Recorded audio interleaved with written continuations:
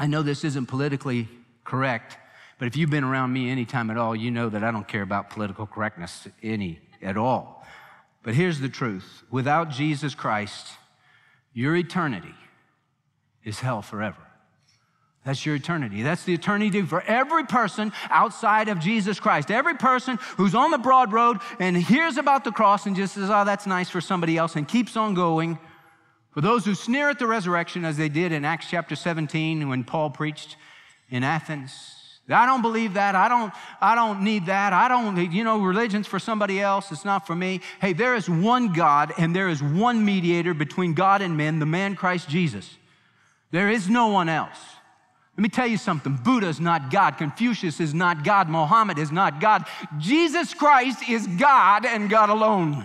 And you're not going to get to heaven any other way than through Him. Without Jesus, your eternity is hell forever. You say, oh, but, but Jeff, don't get all worked up because, see, I, I believe in Jesus and I believe in the resurrection. You know who else believes in Jesus and believes in the resurrection? The devil. The devil. It's all in here, all in his head. He believes.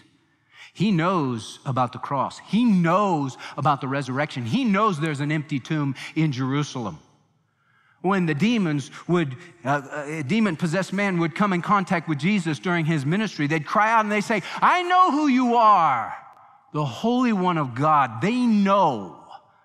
Let me tell you what they don't do they don't repent, they don't trust Him, they don't turn from their sin, from their self.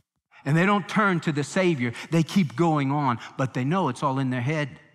Jesus said in Matthew chapter 7, concerning the eternity of those who die without him, he said, Not everyone who says to me, Lord, Lord, will enter the kingdom of heaven, but he who does the will of my Father who is in heaven. For many will say to me on that day, Lord, Lord, did we not prophesy in your name? And in your name cast out miracles, and in your name perform many miracles? And then I will declare to them, I never knew you.